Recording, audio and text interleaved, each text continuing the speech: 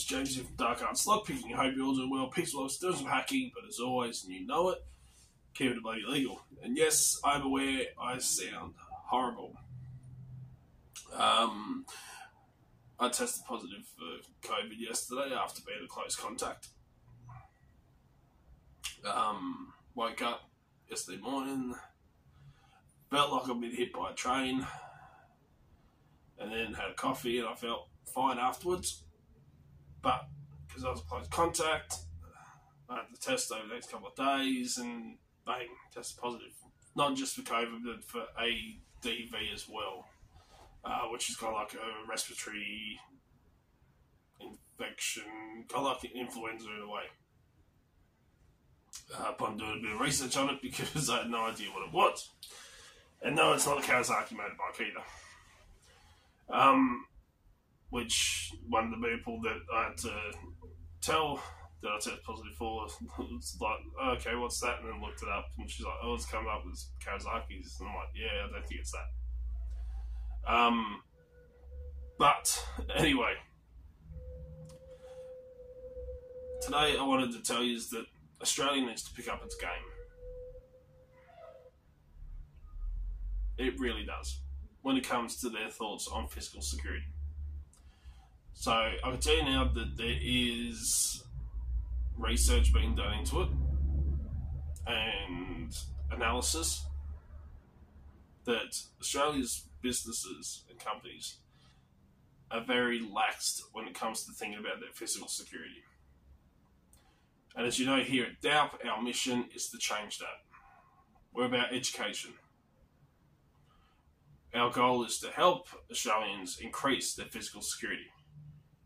We do that with our classes that we run for businesses, organisations, groups, and events, and our free education here on YouTube.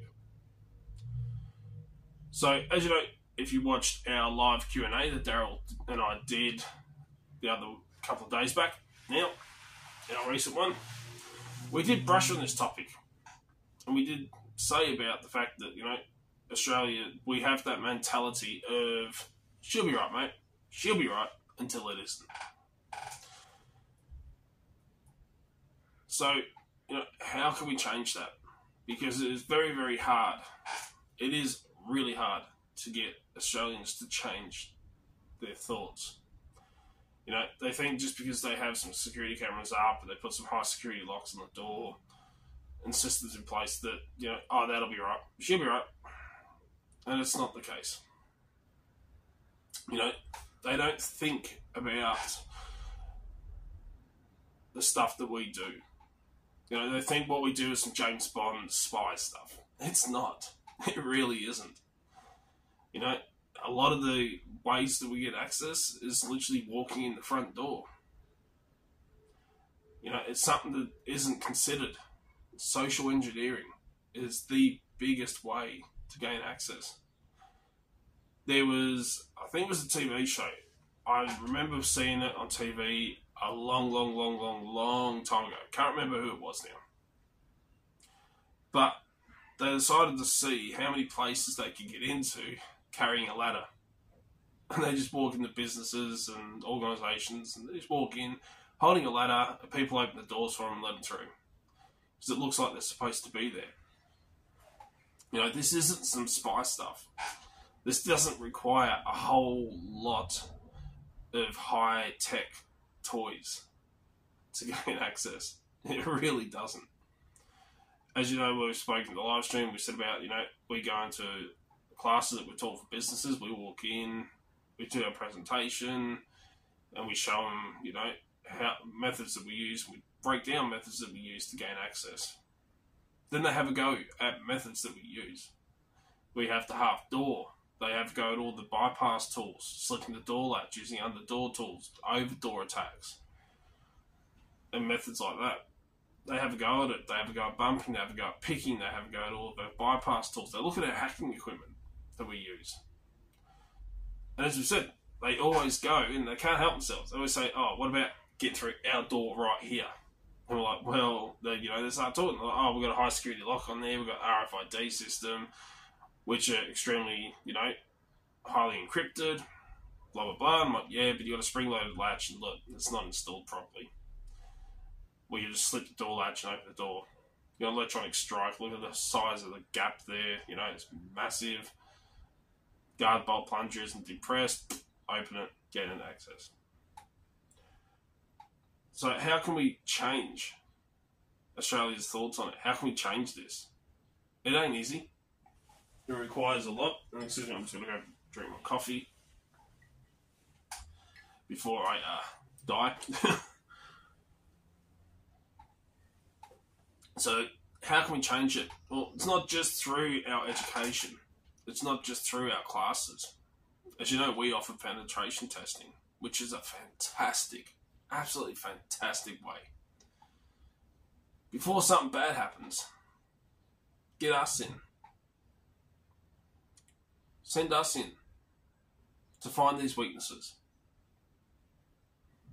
We will find them. We will exploit them. We will get into places. We will do stuff that you wouldn't even think of.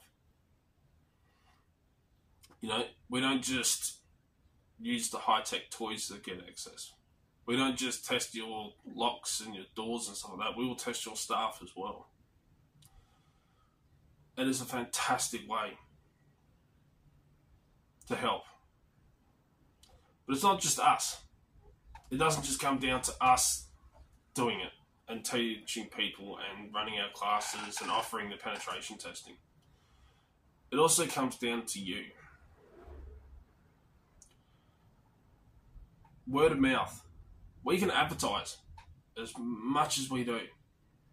We can share what we do around. But it only goes so far. When it comes to businesses and you hear about a place, you hear about, let's just say, a restaurant, right? You might look at a restaurant and go, oh, okay. But if you hear from someone, oh, I went to this restaurant last night, the meal was absolutely fantastic. Highly recommend it. You go, oh, I'm definitely going to go there. I want to go and try that out now because word of mouth is the biggest spreader. Word of mouth is the biggest advertisement possible. That's what I mean when it comes back to you. You sharing it around. You work for a company. Right? You might say to them, oh, you know, I do some lock picking and stuff like that. As a hobby. You do lock sport. Lock sport's bloody great. I love it. I really do love lock sport. It's what started me off into this. It's what got me to where I am now. But it comes down to you to tell your bosses, to tell your managers, to talk to your friends and colleagues and family, and say to them here in Australia that look, the research is being done and it's not thought about. It really isn't. Businesses just do not think about it because that mentality of, oh, she'll be right, or it will never happen to me. And it's hard to try and convince them, but you can. You can say to them, look, there's this company, DALP. You know, their job is to help. Their job is to teach you about these weaknesses. It's their job to get into places that they're not meant to get into. And no, it's not some spy stuff. They literally just put on some high vis and walk in your front door. You know, that's the thing. It comes down to you helping us. Spreading this around. Telling your bosses, telling your managers, telling your friends and family that, you know, look, you should consider taking your security more seriously. It's not easy. But, you know, in the live stream, as Darryl and I spoke about, the live Q&A, we spoke about, you know, situations, real life situations that happened. Stuff that we've come across. At the end of the day, if you have a business, you have a company, and it's breached, you lose money you can lose a lot of money. You have theft. You lose stock. You lose the tools and equipment that you need in order to be able to function and survive. Why wait till that happens? It makes no sense. Why wait for something bad to happen and go, oh, I should have thought about that? Should be thinking about it before it happens. Don't have that mentality of it will never happen to me. Okay, okay yeah, it might. It might not never happen to you. But are you really going to take that chance? Think of it like your vehicle. Right? You put insurance on your vehicle. Yeah, it might you might not never have an accident. But insurance is there for a reason. It's in case. You know, it's not just your physical security that we teach about and that we take seriously here. We also talk about, and as you know, we do cyber. We teach businesses that there is a 46% chance, you know, there is a 46% chance, which is almost half, that if we put USBs, what look like USBs, out in a car park of a company, right? 46% chance that somebody from your company is going to pick up that USB and plug it into your computers to see who it belongs to. And then guess what? We have remote access. So they weren't USBs, they were rubber duckies. No, that's the thing. Why wait? Why take that chance? You have insurance. Okay, put us in as your insurance as well.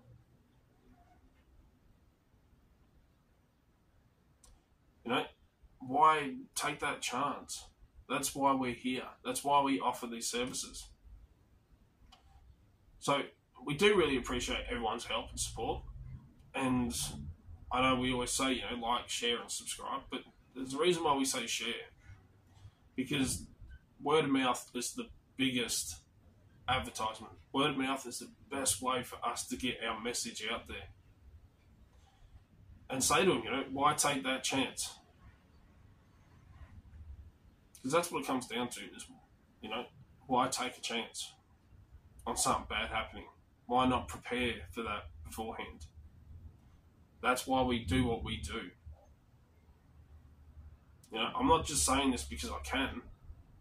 This is because there is a research being currently being done on Australian companies. And the analytics of it shows that they don't think about physical security like they really should. You know, there's the way everything's going at the moment, the cost of living is skyrocketing, wages aren't. You know, everyone at the moment is struggling. Right? Everyone is struggling. Which means that, you know, these attacks can increase because people are left with no other option other than to do stuff to survive. Supermarkets at the moment is a good example of that. You know, electronics and stuff used to be the most stolen items. Now, every single packet of meat you go and buy from a lot of the big chain supermarkets all have RFID tags on them because of theft. Because meat, the price of meat's gone through the roof. and it's actually been stolen more. So now, you know, they're putting RFID tags on it because of it. It just shows you that this cost of living that we've got at the moment, people have no other choice. They're resorting to stealing just to survive. You know, so don't let your business become a victim. The best way, as I said, is for you to share it, but also to say to them, look, there is a company here in Australia that can find these weaknesses for you. They can look at things that you wouldn't even think about. You know, they don't just do high skill attacks. We don't just test your physical locks and your doors and stuff like that. We test your staff as well. You know, we talk when we do our presentations for classes. We talk about certain things, and our question that we ask before we start our presentation, the very first question that we say to people, ask them, is what is the easiest way for us to gain access into a facility? Then we get them to answer it right at the end of the presentation, after we've spoken about all the methods that we use. And people always say, you know, oh, you pick the lock, or you slip the door latch, and stuff like that. We're like, no, we walk in the front door. It doesn't take a whole lot. High vis, a ladder, tool bag. If you look like you're meant to be there, people don't question it. It is up to us to get people to start questioning it. To get that whole mentality changed. So I know I've waffled on for a little bit, but I just want to point out that this is extremely important. Australia needs to change. It needs to up its game when it comes to thinking about this stuff. So we really appreciate everyone sharing this around, telling your business that you work for, telling your company. You know, tell your higher ups that this is a real thing. This is extremely important. And help us here in Australia increase our security. So that's all I'm going to say. I won't waffle on too much more. Don't forget to check out the live Q&A that Darryl and I did, where we actually discussed some of this stuff. And yeah, I'm going to get to work. I got a lot of work to get done here. Um, don't forget, we will be having our online classes available as soon as I'm able to talk better. I can get all the pre-recorded videos of that done. So stay tuned for that one. But share the company, DALP around, and help us here in Australia lift up our game. So until next time, stay safe, stay healthy. Don't go get what I've got. and um, until next time, keep legal. Cheers, guys.